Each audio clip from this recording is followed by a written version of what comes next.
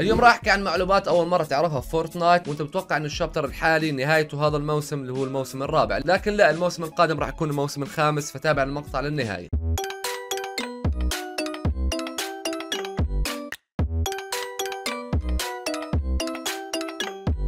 قبل بداية المقطع لا تنسى ال like والاشتراك في القناة وتفعيل زر الجرس لا تنسى code ال shop وايد وايد دي let's go فورتنايت بآخر سنين عودتنا إنه ال chapter الكامل بيكون عبارة عن أربع مواسم زي ال chapter الثالث كان أربع مواسم فقط. بعدين دخلنا على ال chapter الرابع اللي هو ال chapter الحالي. ال chapter الحالي كان أربع مواسم النية ويخلص يعني هذا الموسم الحالي كان من المفترض يكون آخر موسم وينتهي بعدين ندخل على ال chapter الخامس. لكن الآن في تسريب زي ما تشوف موثوق جدا جدا من المسرب شاينا. بيحكي لك بنسبة 100% إنه الموسم القادم راح يكون الموسم الخامس والموسم الخامس راح يكون بس شهر واحد. أول مرة فورتنايت تسوي موسم كامل قصير يكون شهر واحد بس مو شهرين أو شهرين ونص أو ثلاث شهور. في شيء غريب وكان في تسريب مع هذا التسريب بيحكي لك إنه الموسم الخامس راح يكون عبارة عن تعاقد مع ليجو. لا شاينا بيحكي لك إنه الموسم القادم ما راح يكون تعاقد مع ليجو أو أي تعاقد ثاني. يعني مش معروف شو راح يكون الموسم الخامس skin اته أو شو تعاقداته. وبحكي لك للأسف إنه المعلومة صح ومش غلط. فالموسم الحالي راح يخلص بشهر 11 بعدين فورتنايت بدل ما إنها تدخلنا ب chapter جديد لا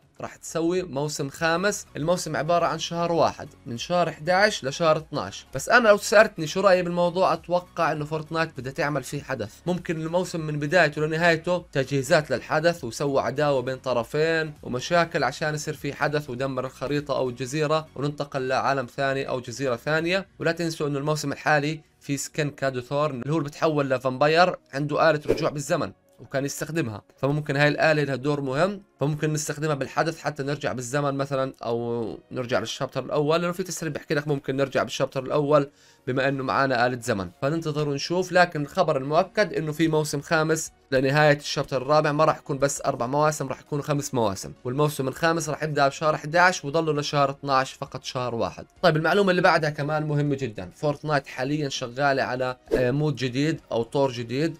هو mode بشكل عام. راح يكون ال mode اللي هو open world عالم مفتوح. تخيل فورتنايت تعمل إشي عالم مفتوح. ملخص الكلام حسب ما أنا فهمت انه فورتنايت شغالة عليه وتم تأكيد هذا الإشي. العمل راح يكون زي ماينكرافت وراح يكون ال mode البقاء على الحياة يعني زي survival وتكون أنت تعمل crafting لعناصر ومواد حتى إنك تضلك عايش وما تموت. يعني زي فكرة ماينكرافت. بقول وبحكي لك ضمن بيئة رمل فيزيائية. راح يكون في رمل يعني فيزيائية ممكن تنزل تحتيه تطلع فوقه. ما بعرف كيف فكرته يعني. يعني ما دام survival ومكتوب crafting survival يعني إحنا راح نكون بعالم في وحوش أتوقع ومخلوقات ولازم نضلنا عايشين. في معانا crafting يعني أنت راح تصنع أدوات تصنع أشياء ممكن تصنع بيت عشان يضلك عايش جواته. زي فكرة ARK و Minecraft فتخيل هذا الإشي تشوفه في Fortnite أتوقع فكرة حلوة. وأكيد لقدام راح تتسرب بعض المعلومات أكثر عن هذا الطور. بس حاليا هاي المعلومات اللي عندنا فشو رأيكم بخصوص هذا الطور الجديد أو ال mode الجديد؟ اكتبوا لنا بالتعليقات. بحكي لك تم تسريب إنه أول skin من skin ات One Piece اللي قدرنا نعرفها اللي هي skin نيكو روبين أحد شخصيات One Piece والمسرب اللي سرب هاي المعلومة هو من قبل سرب لنا skin Ahsoka ومن قبل سرب لنا تعاقد Attack on Titan هجوم العمالقة تعاقد Transformer فتقريبا معلوماته موثوقة. فبحكي لك إنه من ال skin ات رح تنزل بالدفعة الأولى skin نيكو روبين. أكيد مش رح تنزل لحالها رح ينزلوا أربع skin ات بالأول. لوفي نيكو روبين ممكن زورو ونامي. ممكن الدفعة اللي بعديها ينزل سانجي وباقي ال skin ات. لأنه هيك Fortnite شغالة مع الإنمي بتنزل بالأول دفعة بعدين بتنزل كمان دفعة بعد شهرين أو ثلاث. فبس هاي المعلومات المهمة اللي كانت المقطع اليوم اكتبوا لنا رأيكم بالتعليقات شو في عندكم معلومات أو شو رأيكم بشكل عام بخصوص هاي المعلومات لأني راح أشوف كل التعليقات. فبس بنهاية المقطع إذا حابب تدعمني لا تنسى ال like والاشتراك في القناة وتفعيل زر الجرس. لا تنسى code ال shop Wized YD. مع السلامة.